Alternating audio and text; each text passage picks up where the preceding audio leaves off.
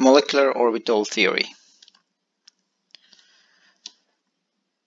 This is a more robust way of looking at the structure of molecules and we actually use it quite a bit in inorganic chemistry. So it applies to organic chemistry, but we could also apply it to inorganic chemistry. And it's not the you know last word on uh, molecular structure. There's a lot more advanced and sophisticated uh, theories that give you even more detailed information about molecules, but this is actually not too difficult of an approach and at the same time it gives you a little bit more information about the molecules which you know helps out. So in the case of a molecule like uh, hydrogen fluoride, uh, what we see right here is the energies in Rydbergs for hydrogen and fluorine, basically the second row elements. And what you basically see is that the p orbitals depicted by the green triangles are kind of closing energy to the s orbital of hydrogen. The s orbitals of fluorine, on the other hand, are very down in energy, very far below. And so what ends up happening is that in molecular orbital theory, orbitals of the same symmetry can combine with each other to give you bonding orbitals and anti-bonding orbitals. Um, orbitals of incongruent symmetry don't mix. In the case of the p orbitals, uh, the p orbital going up and down cannot really mix with that s orbital, and the one going in and out also cannot mix, so they remain untouched. But the orbital is going sideways, you know, left and right, that can definitely mix with the s orbital by forming a sigma bond. And so what we see is that we form that sigma bond between the p orbital and the s orbital, as well as the anti-bonding um, orbital, which is the, the one where the shading areas do not match. Now at the same time, the s orbital of the f uh, atom does to some degree interact with the s orbital of the hydrogen, but because the energies are so different from each other, the interaction is very minimal. So to a first approximation, we could just say, okay, that 2s orbital of the fluorine will remain relatively untouched. And then simply what you do is you bring in the electrons. There's one electron for the hydrogen, there is seven for the fluorine, so you have eight altogether. So you pump in two in the first set, another two on the sigma, and then we have two levels right here. Each one of them can take up two electrons. So we can fill up eight electrons up until that point.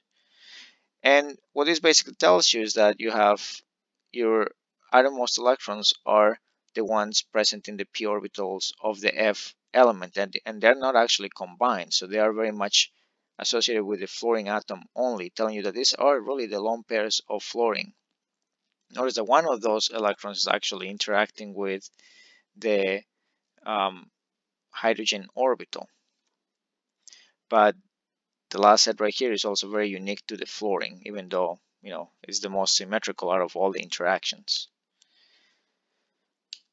All right, now um, you could also have a more complicated case like carbon, carbon monoxide right here, where you do have s and p orbitals for both the left element and the right element making up the bonds. And so here I've just gone ahead and drawn out the, the overall structure for uh, this molecular diagram.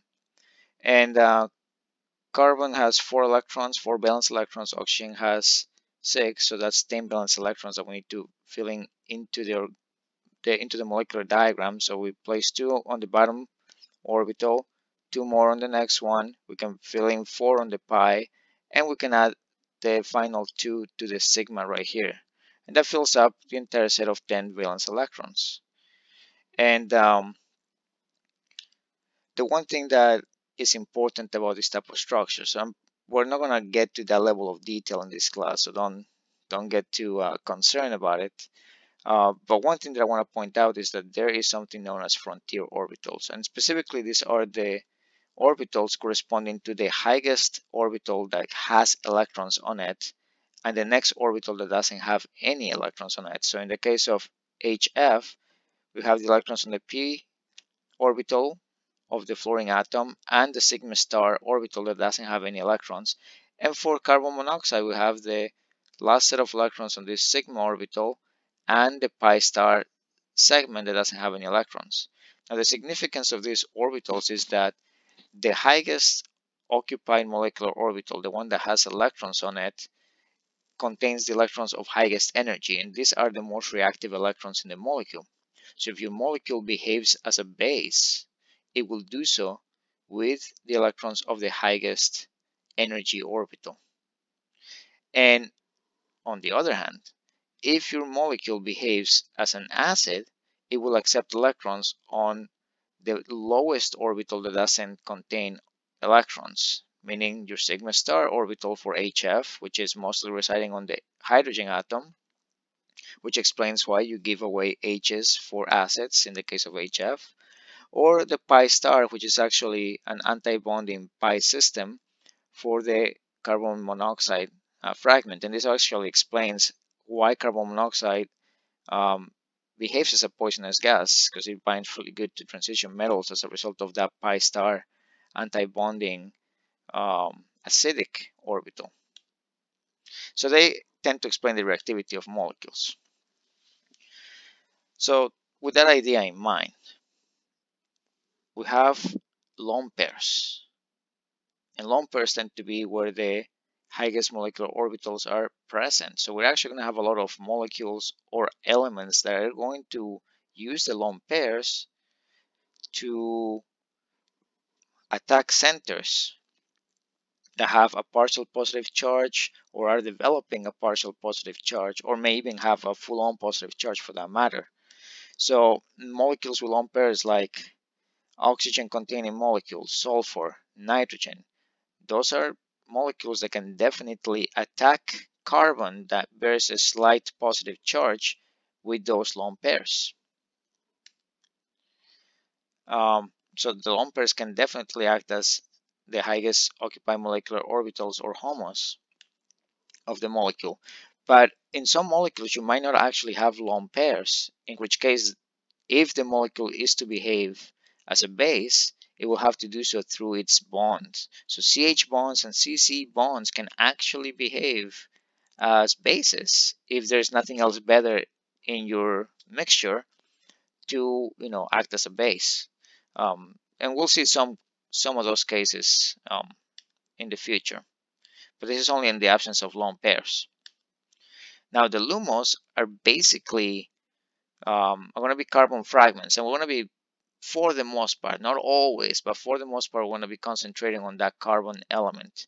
And what's going to give it away is the fact that the carbon is going to be bound to an electronegative element like fluorine, or better yet, chlorine, bromine, iodine.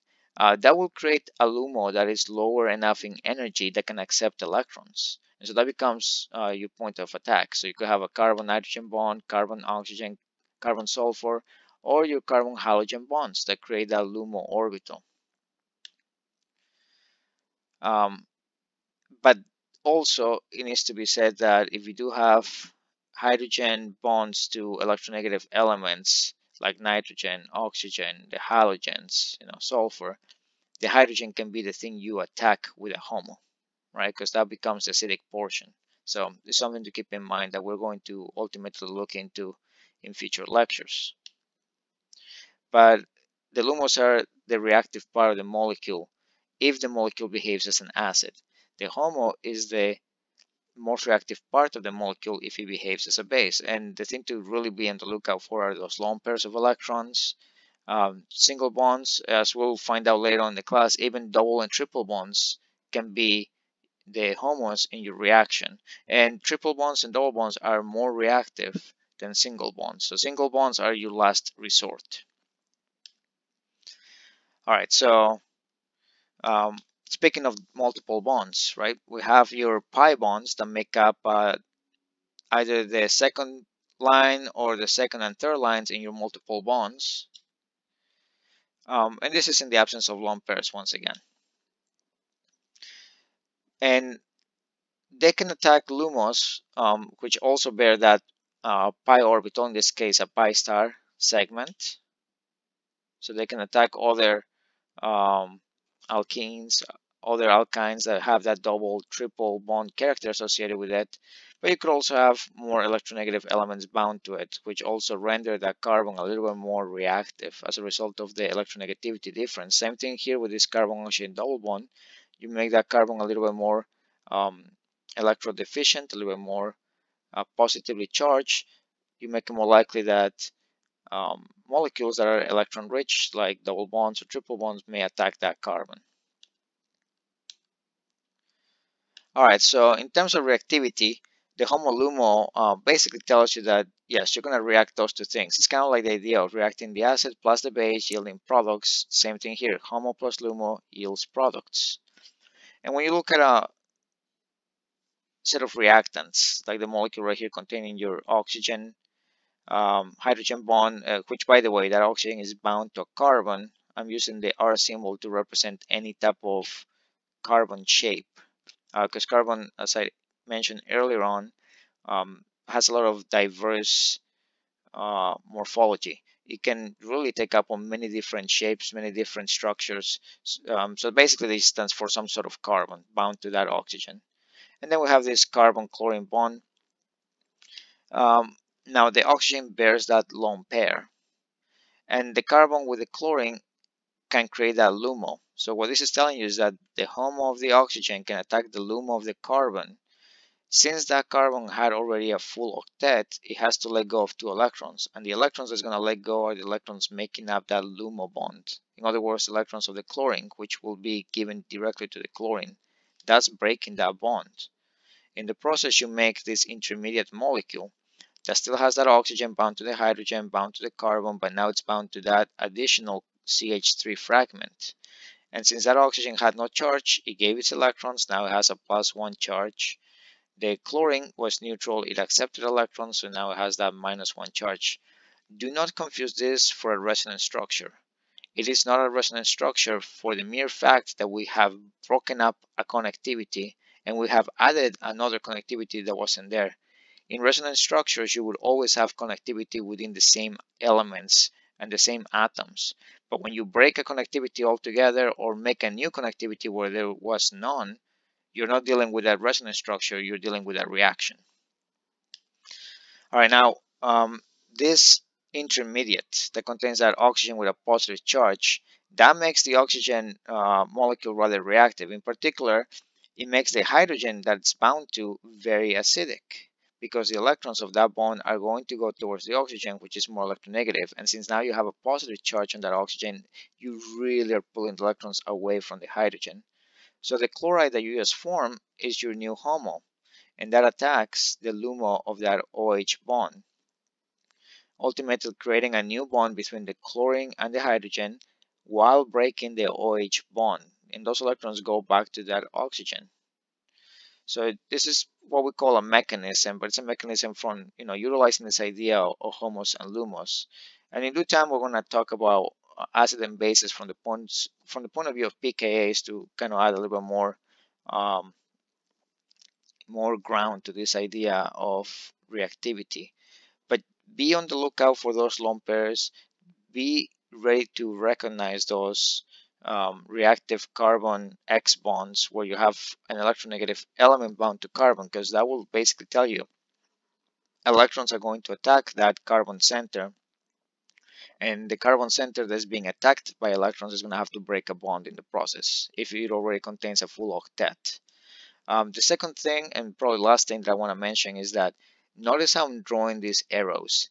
I always start, the tail of the arrow always starts at the lone pair and it always ends at an element. The one thing I don't want you to do is to have the arrow pointing at the lone pair and starting at the atom that is totally incorrect and you will get marked down for that. Make sure that you start at electrons and you end up at atoms.